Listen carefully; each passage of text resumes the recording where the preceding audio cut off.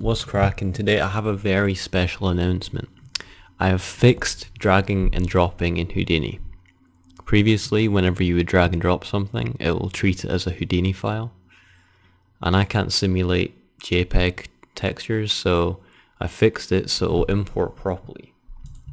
As you can see on your screen, uh, we have me dragging and dropping in some some uh, object files, FBXs.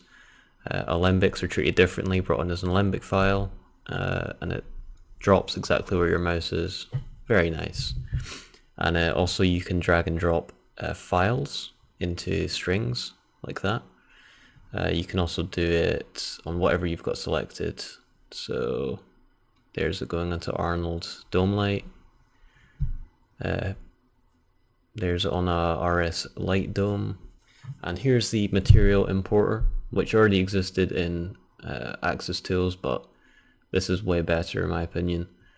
Um, it will connect to, to stuff if the inputs are available. So if you have a, an RS material in there, it'll import. Same for Arnold, as you can see, it's going into all the correct inputs. And um, if something is already connected, then it will not connect again. So as you can see there, it's just left on its own. But the nice thing is, is that you can add in multiple RS uh, materials. Uh, and normally it will select the first one if you have nothing selected, but if I have that RS material selected, I can then go and drag this in and it will connect up to that one as well. Uh, bumps and everything will be added to that as well. So yeah, this is available with Axis Tools. If you're an existing subscriber, go and pick it up. Anyone that doesn't have it, you can go and buy it in the uh, description.